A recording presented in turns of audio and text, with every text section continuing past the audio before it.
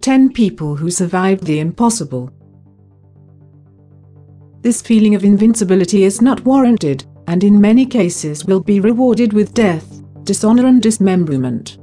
When humanity squares up against nature's wrath, the smart bet is on nature. But despite all the creatures, boulders, weather and general awfulness that can, can be visited upon humanity, some challenges break the mold. No matter what the odds against survival are in any given situation, someone somewhere could and has wiggled their way out. Here are the 15 people who survived the impossible. Harrison Okun In May 2013, a ship cook named Harrison Okun went to the bathroom when what most people would consider is the worst thing that could happen at sea, actually happened. The ship he was in encountered severe waves off the coast of Nigeria that immediately sank the vessel killing everyone on board except Okun. Mr. Okun survived a dark, wet, and freezing ordeal for three days at the bottom of the sea breathing a dwindling supply of air that was trapped when the boat capsized. When rescuers came to get bodies out of the wreckage, they were surprised to discover Okun alive and well. Hugh Glass After being mauled by a bear during a fur trapping expedition in Missouri the expedition leader asked men to stay back with Hugh until he died and then bury him. The men, however, left while he was still alive and reported him as dead. When Hugh regained consciousness he crawled to the Missouri River and then made his way to Fort Knox on a raft. Along the way natives helped him by sewing bear skins over his festering wounds. Mauro Prosperi Prosperi, a keen endurance runner, took part in the 1994 Marathon des Sables Marathon of the Sands in Morocco. Partway through the six-day 233-kilometer event a sandstorm caused Prosperi to lose his way. He ended up disoriented and ran in the wrong direction, ultimately running several hundred kilometers into Algeria. After 36 hours he ran out of food and water. He survived by drinking his own urine and eating bats resident in an abandoned mosque and the occasional snake found in the desert. Not wishing to die a long drawn-out death, Prosperi attempted to commit suicide in the mosque by slitting his wrists with a penknife he had with him.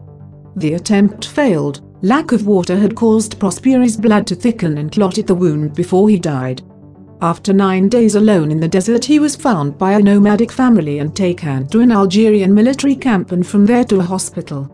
He was 186 miles off route and reportedly had lost between 30 and 40 pounds 18 kilograms in body weight. Roy Sullivan Roy Sullivan was a Virginia forest ranger who had an incredible attraction to lightning. Or rather lightning had an attraction to him.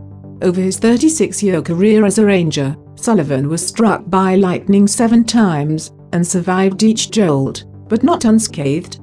His seventh strike put him in the Guinness Book of World Records. In 1942, the first lightning strike shot through Sullivan's leg and knocked his big toenail off.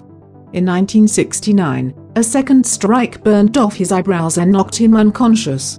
In 1970, another strike left his shoulder seared. In 1972, his hair was set on fire and Roy had to dump a bucket of water over his head to cool off. On August 7, 1973, another bolt tripped through his hat and hit him on the head, set his hair on fire again, threw him out of his truck and knocked his left shoe off.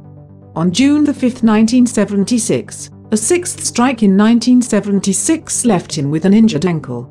On June 25, 1977, the last lightning bolt to hit Roy Sullivan sent him to the hospital with chest and stomach burns in 1977.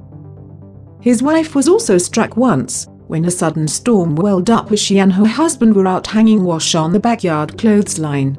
On September 28, 1983, Roy Sullivan died at age 71, reportedly of a self-inflicted gunshot wound over troubles unrelated to lightning.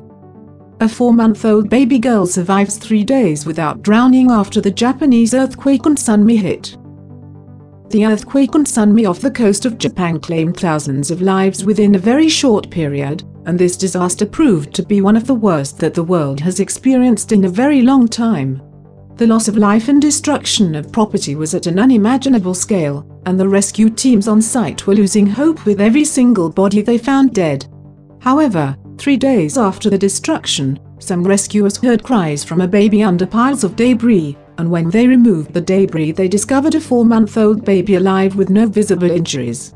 The fact that the baby survived that tsunami and that she did not drown is still a mystery. The baby was reunited with her family later on, and this proved to be one of the best moments in the aftermath of the disaster. Captain James Riley in 1815 American Captain James Riley and his crew were shipwrecked on the coast of North Africa. They were captured and sold into slavery which led to an insane journey through the heart of the Sahara Desert. Eventually they were freed by a sympathetic British merchant.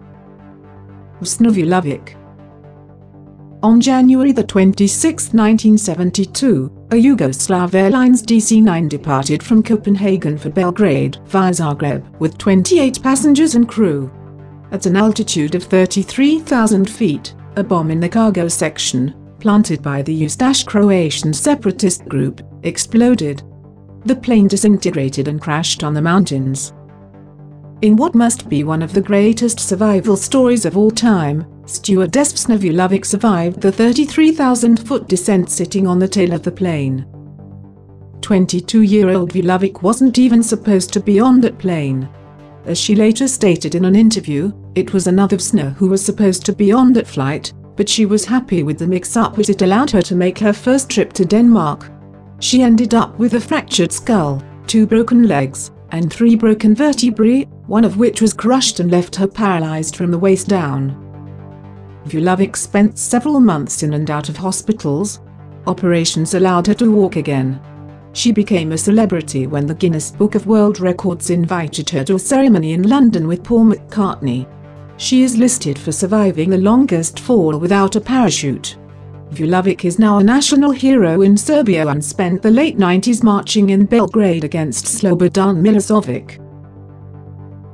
Maria Bellan a family of five whose miraculous survival in the Boxing Day tsunami has been turned into a Hollywood film today relived their ordeal as their story prepares to hit the big screen. Kike Alvarez, his wife Maria Bellan and their three young children were swept away by a massive wall of water as they lounged around the pool at the Orchid Resort Hotel in Thailand in 2004. Mrs. Bellan recalled how she had just told off her eldest son, Lucas, then 10, for drinking Coca-Cola when they heard a huge roar as the wave bulldozed its way through the complex. As she shouted at Lucas to get into the pool, Mrs. Bellan was tossed through a plate glass window and forced through the walls of the hotel. She said, I remember being pushed against walls. You could feel them trembling and breaking, feeling them as they gave way one after another. Single quote The drowning sensation was like being in a spin dryer. I saw many tunnels underwater, tunnels with lights at the end, the kind of vision that people tell you they see when they are going to die. Believing the rest of her family had died, Mrs. Bellan admitted there were moments when she felt like giving up but she said life was wonderful again when she finally surfaced and saw Lucas being swept past her alive. Lucas, who is now 18 and studying medicine at University College London, said jumping into the pool likely saved his life. I had never seen anything of that scale, he told the Sunday Times magazine. It may as well have been the apocalypse.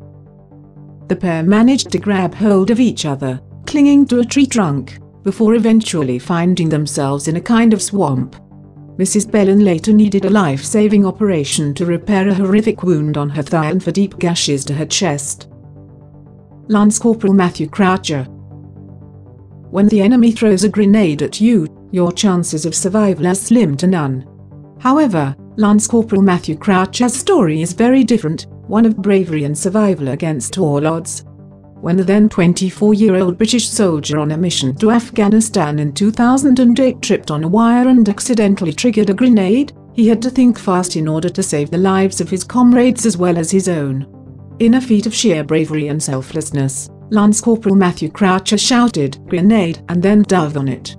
Thanks to his quick thinking he landed on the grenade with his bag between his body and the explosive, with the bag absorbing most of the impact, as opposed to being blown to pieces, Lance Corporal Matthew Croucher was instead thrown into the air by the force, landed safely and only suffered a nosebleed and a terrible headache. His act of bravery not only saved his life and his comrades' lives, but it earned him the George Cross Award, the highest reward for gallantry. Slavomir Rawicz After being sentenced to 25 years in a Siberian gulag, this Polish officer along with six others escaped the camp in Yakutsk and marched 4,000 miles on foot across the frozen Siberian tundra, the Gobi Desert, through Tibet and over the Himalayas to British India.